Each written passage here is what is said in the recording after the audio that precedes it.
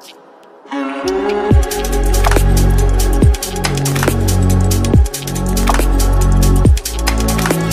What is up guys? Welcome back to the channel. My name is Kevin Svenson and today we're going to be talking about the price of Bitcoin. So most of the top cryptos are in the red. A little bit of a pullback across the board, nothing too substantial. I want to talk about Bitcoin in the short term but also the long term guys. This weekly chart is one of the most important charts right now because it's showing that Bitcoin could be seeing thousands of percent gains coming up soon in the next year. First of all, let's take a look at Bitcoin on the daily chart. Bitcoin has been going quite sideways recently here looking at the daily chart, and I think a lot of people are expecting something like this, or they're expecting something like this.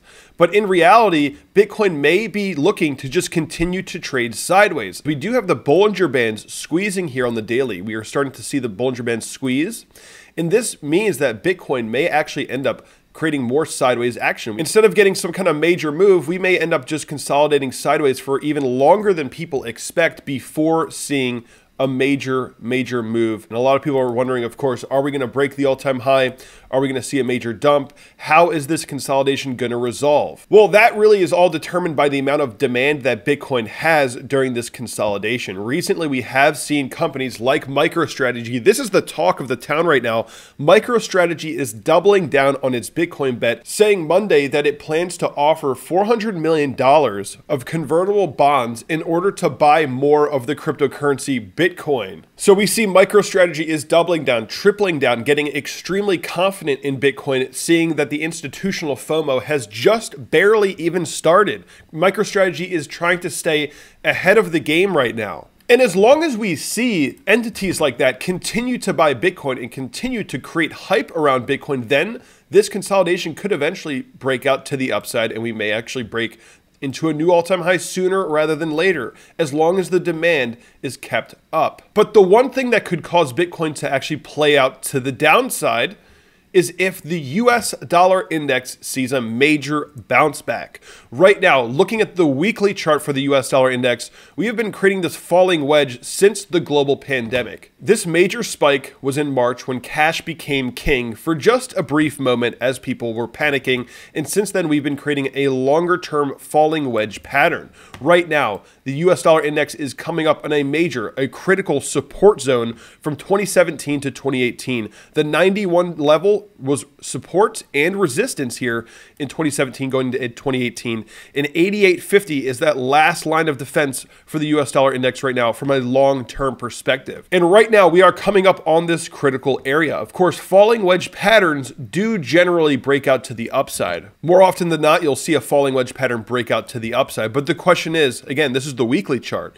Do we have time for the US dollar index to continue to trend down into this pattern? Before getting a breakout?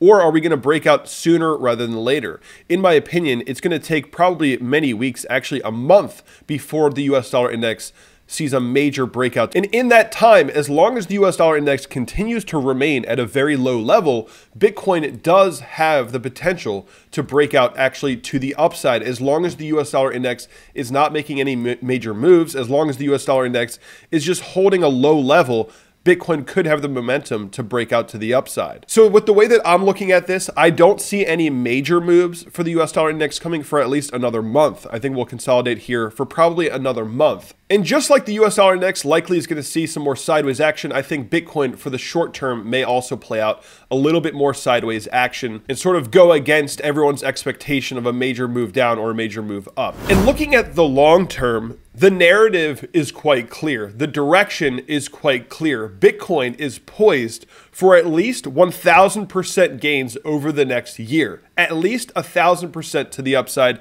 according to this model. On the chart, we're looking at the stock to flow model. We're looking at the blue 21 week EMA, and we're also looking at the 200 week simple moving average in yellow here. Right now, Bitcoin is set up perfectly as it was in the last cycle. Things are playing out almost perfectly for Bitcoin right now as we're sitting just around the all time high post halving. Just a little over half a year later, after the halving of 2020, Bitcoin is just perched here right at the all time high, ready to see a major breakout. Last time Bitcoin was in this position was over here right before the start of 2017, and we did get some volatility. We did see a 35% correction before bouncing back to the all-time high, and then after that, after that small move in the market, Bitcoin ended up seeing 2000% gains to the upside. And right now, we're in a very similar position. The similarities between these two cycles are actually quite stunning. After the bull market peak, we waited for the halving, and just over half a year later, we tested and broke the all time high. Bitcoin since 2017, the bull market peak, we had the halving, and just half a year later, we're sitting right at the all time high, ready for a major breakout. Whether we break out sooner rather than later, or whether we pull back to the 21 week EMA in the short term, then break out,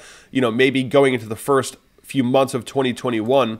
Either way, it doesn't really matter in my opinion. Bitcoin is poised, according to Stock to Flow, to see at least another 1200% to the upside, maybe even higher. In looking at the history of Bitcoin here, when Bitcoin went from just a couple bucks all the way up to 1200 US dollars, this is what I call the discovery phase for Bitcoin.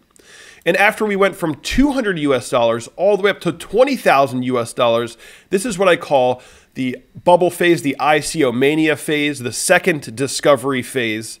And next, guys, this area right here is the final phase for Bitcoin to become a true global currency. This is the institutional FOMO phase, where very likely Bitcoin is going to be headed from, you know, $3,800 all the way up to potentially as high as 300,000 US dollars. And the only way that Bitcoin can go from 20K to 300K at this point in time to get that high of a market cap is with institutional involvement. And we are finally at that phase, guys, that major final phase where Bitcoin becomes a legitimate global currency and we see that major institutional FOMO up to new heights never seen before for Bitcoin. And this is what we got to be ready for right now. And that's all I really wanted to talk to you guys about today. We discussed a little bit of short term stuff, but ultimately, guys, the long term is really where the money is made. And you got to be prepared for these long term moves. If you guys enjoyed this video, hit that like button, subscribe to the channel. Also, the Cryptowatch platform is the platform you guys see me use in all of my videos. Click that link below, sign up right now. It is totally free.